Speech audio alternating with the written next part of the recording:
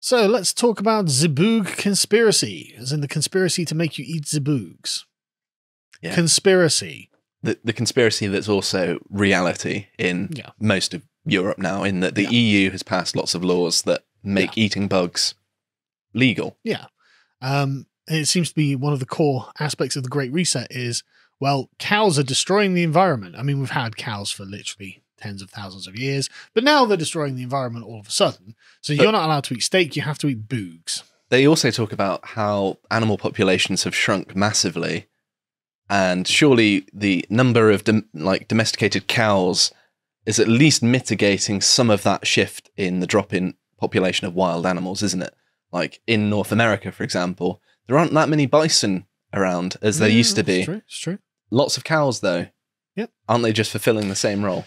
No, apparently cow farts are destroying the earth, and so therefore you have to eat zaboogs. Uh, now, before we go on, if you want to support us and want to learn more about this, because I'm going to be giving a very brief overview in this video, uh, go over to lotuseaters.com, sign up for a five a month, help us keep the lights on, because of course we've been demonetized, thanks YouTube.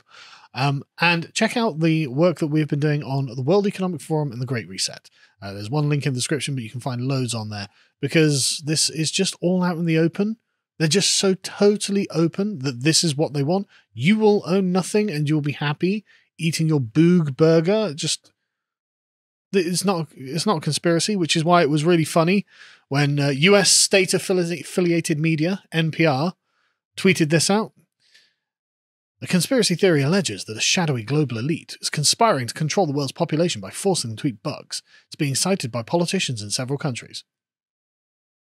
Needs the uh, the Jontron thing of Yeah. just pulling up the TV. They just started saying it on in TV. front of cameras. Yeah. You know, yeah, exactly. They just started saying it. So it's a shadowy global elite. Well, I mean, we can name them. They are a shadowy global elite, but we can literally name the people involved. Klaus Schwab. Klaus Schwab, Bill Gates, Mm. anyone who goes to the World Economic Forum. Like literally just list those people. They are the people. Yeah, it, a conspiracy theory holds a lot more weight when you can name everyone involved, point to them saying it, it. and then you point to the results of them saying it. Yeah. Just like look at what Europe's just passed, or the Yeah. EU's just passed. Sorry. Yeah. They're, they're pushing for eating bugs. They're literally saying it. They're literally implementing it. And now bugs are literally on the menu. we have objective evidence of Yeah. every part of the the chain of what's going on here. Yeah. So let's let's go into the article, right? They're complaining. In mid-March, a far-right Dutch member of parliament named Thierry Baudet tweeted, "We will not eat the bugs," accompanied by a photo of himself holding a microphone in one hand and pouring golden mealworms out of a bag on the other. Well, good, based, great. Hopefully, uh, hopefully he wins. Hopefully, he becomes the pre- president of the Netherlands. Great. Like this is a good advertisement for him, to be honest. Like if if I were a politician, I'd want my strong statements like that to be printed by the media as well. It's also worth mentioning as well that mealworms are now um, legally in the EU Mhm. regarded as human food, even Yeah. though my knowledge of mealworms is that I've used them as fishing bait to catch fish that I can actually eat. Yeah. And that's the, the, the, what, the reason that you say have been made legal is because prior to this, it was not legal to feed Because people they bugs. weren't seen as fit for human consumption. No. Earlier in the month, Poland's ruling nationalist party, Law and Justice, well, that sounds great, falsely alleged that the opposition civic platform was trying to push citizens into eating worms, prompting the opposition to hit back with a similar accusation, going, no, it's not worms, it's bugs. Bugs and worms are two different things, actually. The Law and Justice Party in Poland are great. Yeah, I know. Uh, those are just some of the several instances of the European right wing politicians lobbying a conspiracy theory that elites want people to eat bugs. It- it- But they're they're saying it And it's happening. doing it. Yeah. the accusations arrived shortly after the European Union approved mealworms and crickets as food ingredients. oh, there it is, yeah. What? Well, oh yeah, it's so crackpot. The, the elites want you to eat bugs. That's why they're literally making it like they're changing it from being illegal to legal to feed you these things. It's like yeah, it's just conspiracy theory. Even- crackpot. Even the way it's presented there, the Yeah. accusations arrive shortly after they did the thing. Yeah, exactly. Why? What? I mean, just NPR. You must be joking. That You think anyone takes this seriously, right? This is a terrible smear attempt, I must admit. It's really bad, isn't it? Right. Across the Atlantic, American right wing pundits and influencers decry a similar plot.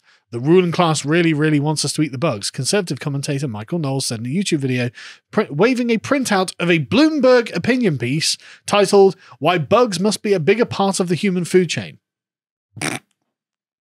it's literally owned by Michael Bloomberg.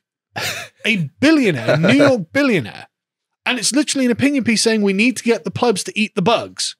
And Michael Knowles is just like, wow, the elites, which Bloomberg is very representative of the elites, really want you to eat the bugs. And they're just like, well, I mean, that was just crazy conspiracy theory. Well, nonsense. The story he referred to actually focused on insects' potential as high nutrient animal feed on, and on insects' ability to process human waste rather as food for human consumption. Oh, did it? Did it? Is that, that the only thing, is it? But that's not what people are taking exception about, is No. it? It's that people are taking exception to humans having to eat the bugs rather than them being lower down on the food chain, being the food that our food eats. and it's like it like in the EU. It's not like, but it's it's like okay, let's just introduce bugs into the food chain. Eventually, you'll have bugs on your plate because you know that's what they're doing. That they say it right. In recent years, this aversion has fu- fused with an amorphous and shape-shifting conspiracy theory in which a shadowy global elite conspires to control the world's population. Oh my god, as if they haven't talked about population reduction enough. I mean, it's literally all Bill Gates goes on about. If we vaccinate enough people, we'll reduce the population because fewer people will die and therefore fewer people have children, which is the way he intends it. Although people do seem to take that out of context. Um, not that I'm saying Bill Gates isn't a bad guy or anything, he obviously is. But in the charitable interpretation of what he's saying, is that he's saying when you increase people's quality of life, then they have fewer children and that reduces the world's population, which appears to be true, actually. That is That true, is a yeah. true thing. Um, but the point is, it's not like a shadowy conspiracy. It's what he's actually doing. It's what he spends his billions doing. For those who espouse the theory, eating bugs isn't just a matter of disgust or questioning the impacts of climate change. Well, where did climate change come into this? Well, Uh, that's it- the justification. Exactly, for it, isn't it? exactly, exactly. It's framed as a matter of individual freedom and governmental control. That's because they literally are saying you're going to stop eating meat because meat is harming the environment, and therefore it is the government controlling you, forcing you to eat bugs in lieu of eating meat. And we see them promoting this everywhere. I mean, the WEF literally have a website and everything that says all of this. The scientists say it's urgent to cut climate pollution from agriculture, mainly by reducing meat consumption and eating more plant based food. That's the next line. That's the next line in your own bloody article. like, it's a fra- it's framed as a matter of individual freedom and this is- government control, but the government's going to stop you from eating meat. It's in your It's almost like this is being written by a right winger with a gun to their head. yeah Just they're slipping in yeah yeah yeah. the points that we're making in the first place. It's also worth mentioning as well that bugs need to eat human um, standard Yeah. um, animal feed. Like, so the grains and things that bugs eat Yeah. has to be up to a human standard, whereas some other animals, like uh, chickens and cows, Yeah. don't necessarily have to eat a human standard, but then you can eat the, the cows or chickens. Yeah. So how they, that can be justified as being eco-friendly when they're going to have an impact on crops in the Yeah. first place. They're Yeah. going to be consuming the same crops that we might be consuming, Yeah. rather than perhaps lower quality ones, which we can then eat. And also, it's worth mentioning as well that um, crickets, mealworms, that sort of thing, their their actual um, protein count relative to how much food we have to give them is about the same as a chicken I've so you can just eat a chicken and it would be sa- exactly the same for the environment but much tastier and probably less dangerous for you because Hmm. bugs also you, you consume the whole bug which contains its digestive system so if they have parasites in them in their digestive consume system you can get yeah. ill whereas with a chicken you consume parts you don't eat the digestive system I, as I understand it, there are different qualities of protein as well. hmm Uh, and so animal proteins, particularly high quality, has lots of extra nutrients in it that don't exist in bugs. So this is a way of depriving you of those. I mean, there's a reason Mhm. like Jordan Peterson can literally eat beef for just forever and not die, right? Because it's got all of these Yeah. other things in it. Whereas that probably doesn't exist in bugs. I'm, like, I'm not an expert, but that's what I've read, you know, just going around the internet. hmm Fact check me on that. Right, but anyway, right. The next line after they're like, yeah, so scientists are saying we've got to get rid of these these meat meat eating Ugh. and instead eat bugs. And they're like, yeah, using insects as a source of protein is an idea that's floated on the edges of policy debate.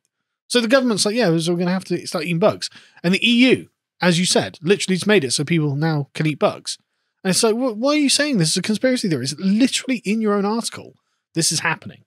I mean, it, it's even worse than it might seem in the EU because Hmm. the bugs are being ground down and hidden in food. Yeah. So you might not even know you're eating bugs unless you read all of the ingredients. Yeah, no, that's that's absolutely right. There's there's some sort of cricket um, potato chips now, um, where it's literally you've got to check the ingredients and it say crickets, uh, but it looks like um, crisps. They've also come up with euphemistic um, names for them as well. It's a bit like how you know American drug companies come Yeah. up with like a branded name. Yeah. they've done that Yeah, for yeah. crickets and mealworms. Yeah.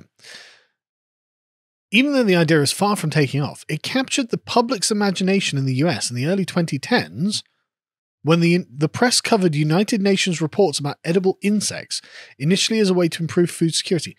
Well, A, I mean, I, I, I doubt that actually captured the public's imagination. Uh, but how is this disproving the conspiracy theory? It's not in any way. it's really like, not, is it? This conspiracy theory. Anyway, here's all the evidence for it. Yeah. That's literally. That's literally what they're doing. Take the phrase "I'll not leave." So they complain. They they start complaining that oh well, I mean this this I won't eat zaboogs came from 4chan and therefore it's bad. It's like no, I'm not going to eat the bugs, regardless of what 4chan's opinion on it is. And if 4chan are like we don't want to eat the bugs, well then they're right on this issue, aren't they? Right. Take the phrase "I will not eat the bugs" for an example. Uh, some of the earliest instances of this phrase surfaced on the 4chan message boards in 2019. Anonymous users repeated the phrase in a photo in response to a photo of climate activist Greta Thunberg, sometimes paired with the phrase, I will not live in the pod. Yeah? I'm not going to live in a pod. I'm not going to eat zaboogs. Now what? That's not exactly a controversial Yeah, thing to say to most people, is it? I don't want to live in a tiny Yeah. little pod or eat bugs. Well, one Anti Defamation League researcher was like, well, yeah, but this did come from 4chan. It's like, Oh, no. so? That's not going to make me eat the bug burger. The phrase, I'll not eat the bugs, would later resurface as part of COVID era conspiracy theory about government coercion. Ah, yeah, there was famously no government coercion during the COVID era. Just, Are they mad? Yeah, they are actually mad. Imagine how left wing you have to, how just full of left wing propaganda you have to be to think that this isn't obviously just what's happening. The government coercing you into your home and not allowing you to leave. That's democracy in action, right? oh there. yeah, that's it's just just pure democracy, right? It's difficult to pin down when it began. As COVID 19 swept across the world in early 2020 and governments imposed mandates on masks and upheld restrictions on social, social gatherings and travel, the conspiracy theory that global elites were seizing an opportunity or even inventing an excuse to insert o- more control over an unknown population flourished, But Klaus Schwab wrote a book. called COVID 19 The Great Reset. Yeah. I mean, he literally wrote, He wrote a whole book. book about it. What are you on about? They literally locked us up in our homes. They literally did. This is gaslighting on an astronomical scale, isn't it? Unbelievable that the US state affiliated media NPR would say this. Do you know what's disappointing? Is the BBC doesn't have a state affiliated media tag Does it of not? all things. The BBC. I mean, come on. But anyway, so where where would the crazy public get the idea that the elites want them to eat zaboogs? Where would they get that from? Well, we turn to NPR in 2011, where they say insect cuisine is all the buzz. Don't you don't you know that the UN just put out, as you remember, they said in 2010 or 2011, the UN put out and it captured the public's imagination. I don't know anyone who's said, you know what I've had recently? I ate some crickets. Amazing. You should try them. beautiful. No one said that. No, no. But this is NPR, and uh, then we go to 2013. NPR. Insects may be the taste of the next generation. A report says a UN Food and Agriculture Organization says insects they're good for improving the world's secure food security. So well, that's good for them. I'm not eating zaboogs. And then we go to 2015. NPR. Bugs, not what's for dinner until they're tastier, maybe. So we're trying. We've we've spent the last four years trying to get them to eat the boogs and they're just not doing it because they don't look very tasty. So we need to figure out how to make them more delicious. And uh, in 2019, they were like, you know what?